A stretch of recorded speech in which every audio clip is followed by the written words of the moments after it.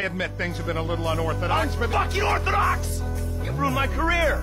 Agent Sanchez, arrest these men, both of them. Steve, Oh, come whoa! on, please. You fucking kidding me? Arrest me for what? For multiple counts of every fucking crime under the fucking sun. Oh, well, then let me rephrase.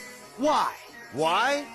Because. Because you don't want me to testify in court about our various business dealings, right? Agent Sanchez, apprehend the suspect! Agent Sanchez, you'll do no such thing. Now, Steve, we agreed to speak to Michael, to try and explain things to him. Not this. This causes problems for us all. Okay, okay. Then put your gun down and we'll talk. After you, buddy. Come on, where's the trust? You can do better than that. They know or think they know that I'm the one that was behind the incident. Uh-huh. And now you want me to clean up your mess again, right? Before I end up at the bottom of the ocean. Fucking good luck with that. Put the weapons down, boys. Fun time is over. We've got you. Anti-American ugly. Put your weapons down, all of you! Who the fuck are you with? With me?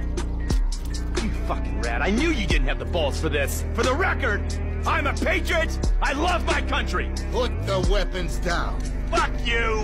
We all know you agency boys are ball deep in a plot to drive up your funding by any means necessary. Put the guns down, gentlemen. Who the fuck are they? Fucking Merryweather.